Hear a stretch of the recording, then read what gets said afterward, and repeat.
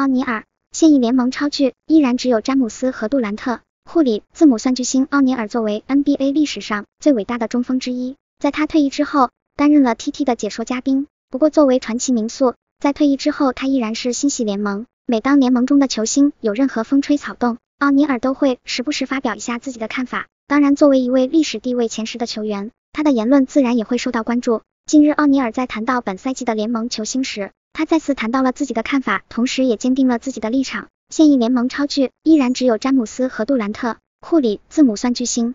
搜图编辑首先可以肯定的是，本赛季至今联盟表现最好的无疑就是詹姆斯、杜兰特、库里字母哥这四人。其中杜兰特、库里、字母哥三人在本赛季的 MVP 榜单中轮番坐庄。赛季初是杜兰特和库里，随着赛季的深入，字母哥迎头赶上，目前也是现阶段联盟表现最出众的球员。当然，若不是湖人队的战绩不佳，詹姆斯也会加入 MVP 轮番坐庄的行列。与众不同的是，詹姆斯已经三十七岁了，但是他依然是如今联盟表现至少前三的球员。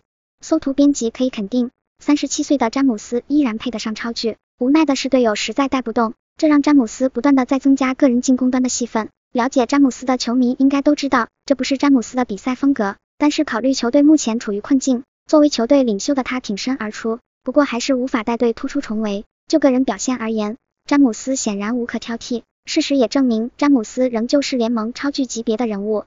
搜图编辑反观杜兰特，作为本赛季一直表现都十分抢眼的超巨，跟腱断裂并没有真正影响到他的竞技水准。其中在进攻端再次找回了雷霆时期得分王阶段的势态。不出意外的话，本赛季的杜兰特将拿下自己职业生涯的第五次得分王。能拿下联盟得分王的球员，至少都是巨星级别的人物。但是至于杜兰特，他就是现役超巨之一，进攻端的他是当今联盟最好的球员，没有之一。搜图编辑而库里和字母哥虽然给人视觉上还达不到杜兰特、詹姆斯的水准，但是整体来看，他们至少都是巨星级别的球员。不过换句话说，从影响力而言，库里同样配得上超巨，因为他是小球时代的先驱；而字母哥从个人荣誉的角度来评判的话，他同样配得上超巨。